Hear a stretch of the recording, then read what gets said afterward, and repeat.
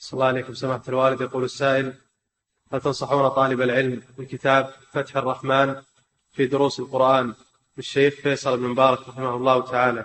في الحقيقة أنا ما قرأته لكن الشيخ عالم مشهور وداعية وداعية من الدعاة إلى الله عز وجل فما كتبه وألفه فيه نفع عظيم.